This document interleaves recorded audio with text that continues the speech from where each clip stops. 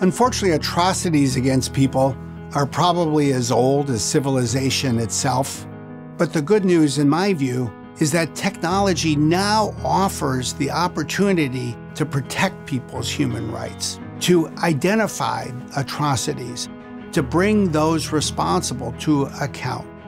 Microsoft's partnership with the ICC is, in fact, one of the most important partnerships we have with anyone, anywhere in the world.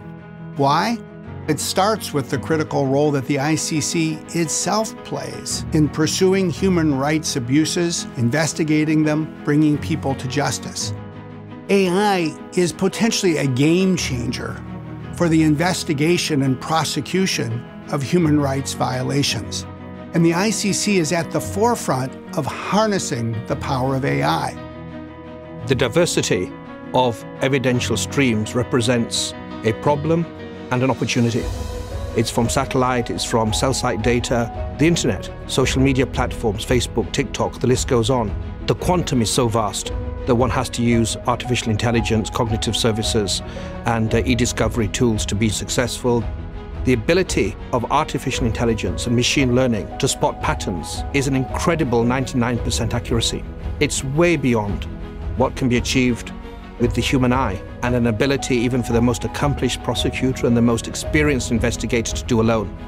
The targeted use of artificial intelligence, machine learning tools, and ensuring that it is intertwined in all of the activities of the Office of the Prosecutor is absolutely essential in order to bring justice to the most vulnerable people of the world. And this is why the relationship with Microsoft is so essential. It's a relationship built upon shared values, it's a relationship built upon trust to build a better world. We are at the beginning of a new era of AI and for technology to protect human rights. And it's why we at Microsoft are so devoted to using AI so that we can innovate and really identify and pursue the new breakthrough ideas that will make this better protection of human rights not just a vision, but a reality.